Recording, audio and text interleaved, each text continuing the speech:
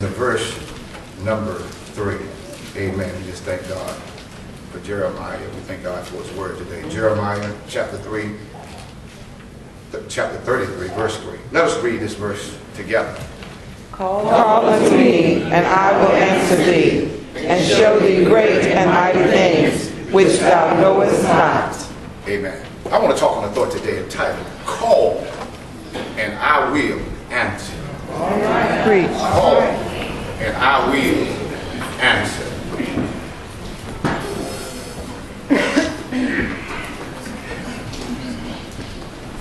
My brothers and my sisters, as followers of Jesus Christ, we must learn to communicate with God even more as we see the final days approaching. We must communicate to God through Jesus Christ our Lord. How do we communicate? We communicate by using prayer. Prayer is the vehicle for our dialogue with God. Mm-hmm. When we go to God, we have to understand that He is the one who created us, not we ourselves. He created us. Amen. We must communicate daily through prayer. Every day we ought to pray. We ought to pray to God because the Bible lets us know how important prayer is. The importance of it because it speaks about 250 times about the importance of prayer in the scripture.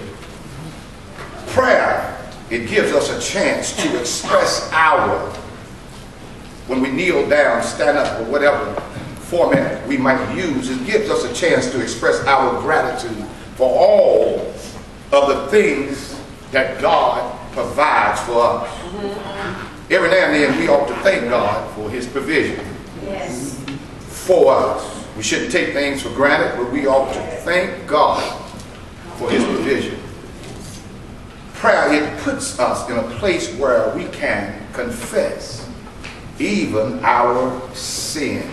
Yes. One thing we must realize, when we do confess our sins, it lines us back up with God.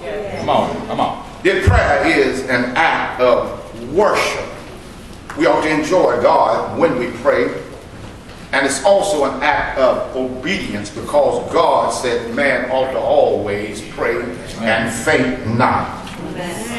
Finally, prayer is a way to acknowledge who is really in control of our, our lives. It puts God in control. It removes our hands and it puts the focus back on our controller, which is God. My brothers and my sisters, we need to pray because of life changing circumstances. In fact, because of the ups and the downs of life. Have you noticed that things can go so quickly from good to bad? to worse in a very short period of time. You could be doing well, and all of a sudden mm. something happened Amen. in your life. That's why God, He calls us to bring our concerns, our problems, our heartaches, our pains, to bring them to Him. Now, sometimes we refuse, we fail to do what God has instructed us to do, and sometimes I, I'm, I'm guilty as well as all of us. I feel like you might not, but I feel like I am. Sometimes we talk to people too much when we ought to be talking to the Lord. Do I have a witness here? Anybody ever sharing some secret stuff within you, and you told a friend, and before you can tell it, get it out real good, somebody else knew what was going on in your life. But if we pray and talk to God in secret, God will reward us openly. God also calls us to share. We need to learn to share our joys and our triumphs. The victories that God has given to us. We need to talk about it, share, not boast, but talk. not talk us up, but talk God up about his goodness. We heard it in Sunday school. We have to realize that all that we have, uh, we didn't do it ourselves, but it was God. That's simple, that's plain. We all, amen, say it was God. It's not me, but it's God. Amen. Jeremiah, chapter 33. It says these words. God is talking to Jeremiah. It says, call unto me, and I will answer thee. We talked about that yesterday. We had prayer session here yesterday, and this verse came out, and, it's, God uh, laid on my heart to bring it back today and, and show thee great and mighty things with an S.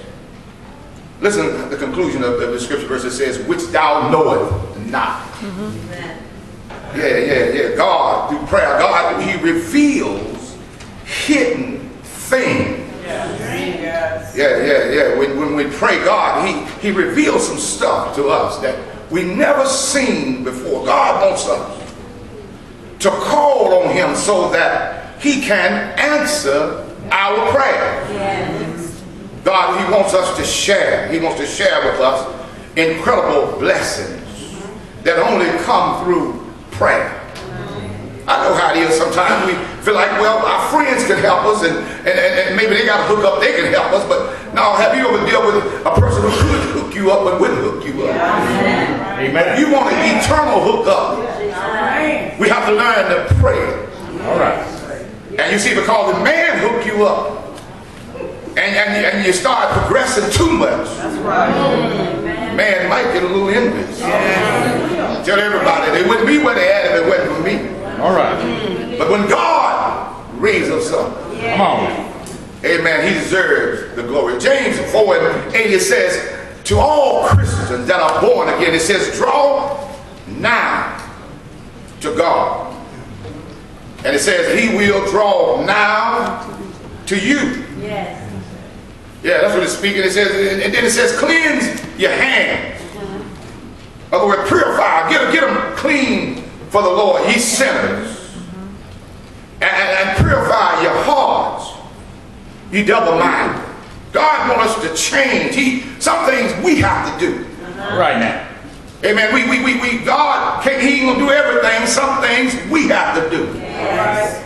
Amen. You know, we, we talked about that on yesterday. A double-minded person is a person that, you know how we get sometimes, you know, we, we fired up on Sunday.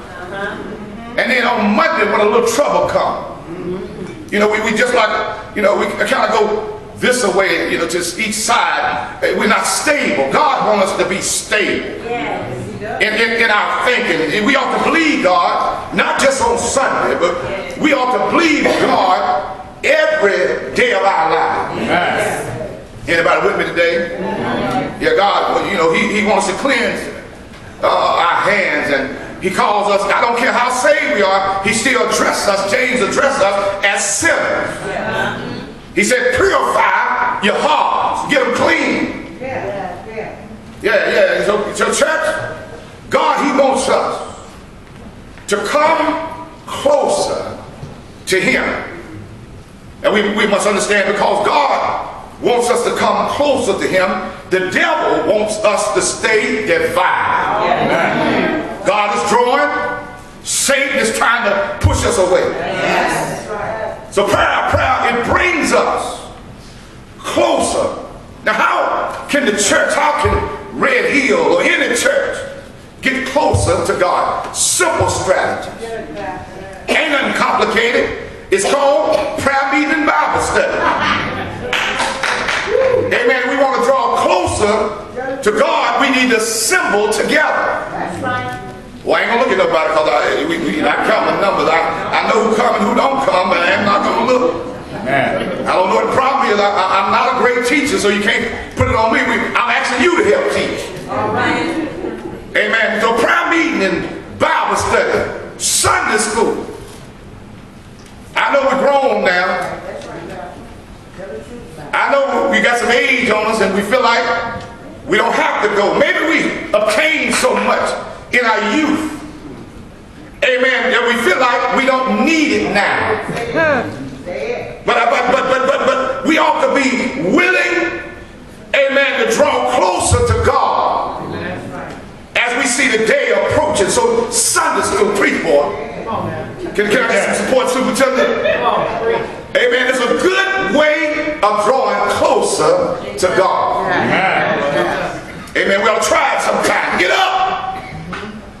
We got first shift. We on time. Stepping on my own toes. Ouch. Got second shift. We on time. Third shift. We on time. But on Sunday, preach boy. I'm preaching here. Preach to myself. Sunday, get sleepy. Ain't sleepy on Monday, but Sunday. Have to be there at 7 o'clock on Sunday. Ain't got to be here till 9.45 and we get sleepy. Let's go back to Bible study, y'all. What time? Some folks don't even know what time Bible study starts. Been in church 140 years, they don't know what time Bible study starts. So my brothers and my sisters, we should, should hide Amen. Because God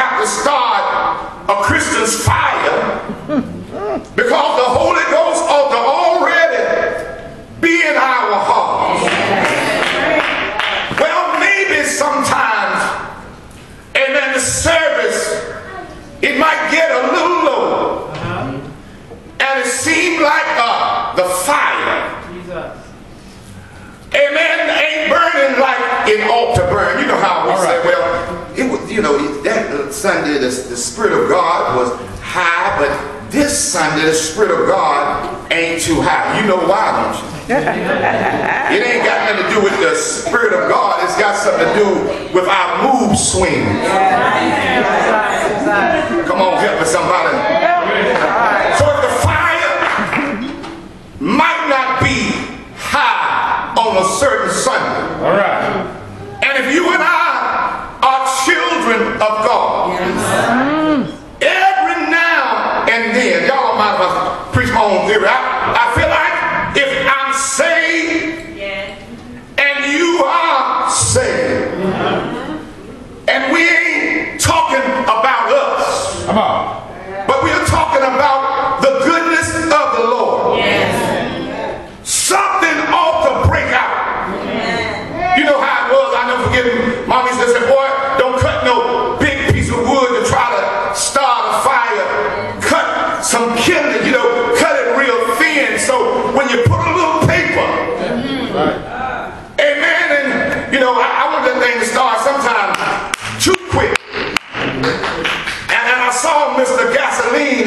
somebody else saw it tried. And you see one thing about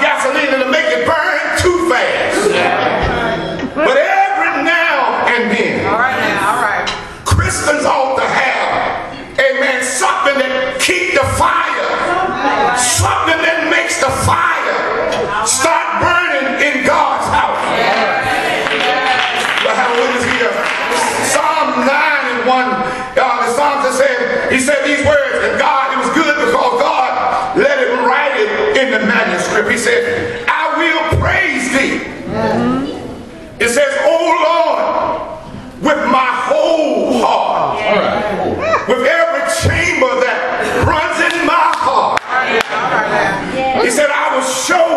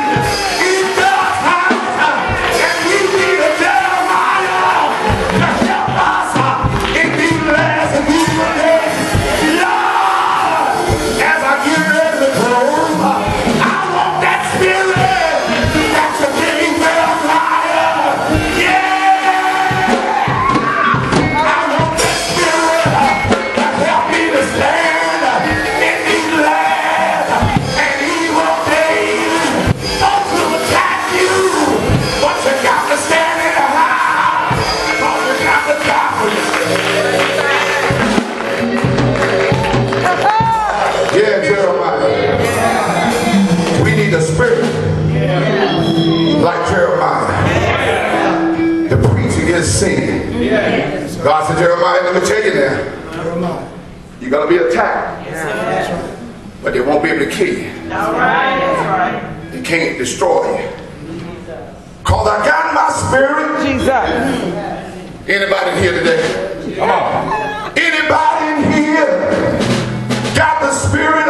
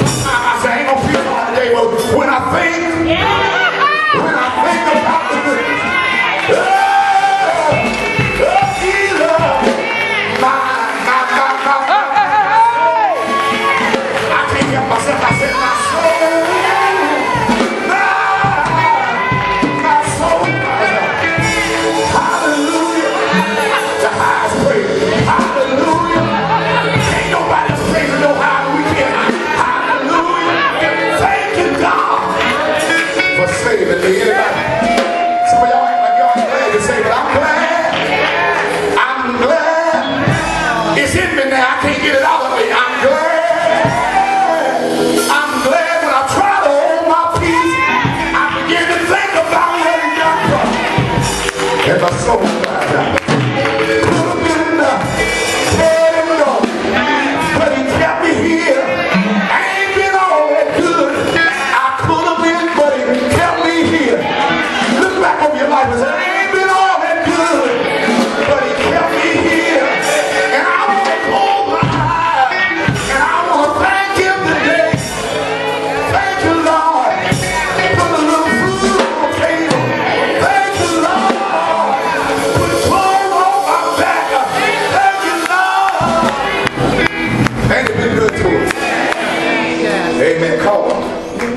Just call him. I guarantee you that. Don't call me, call on him.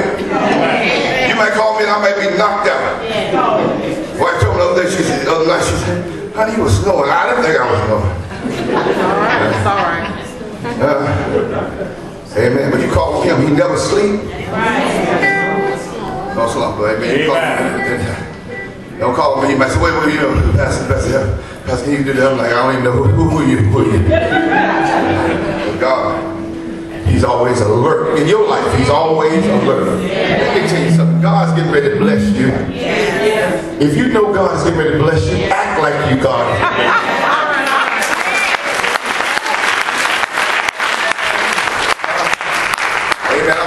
I know He's gonna bless me because He said, I'll never leave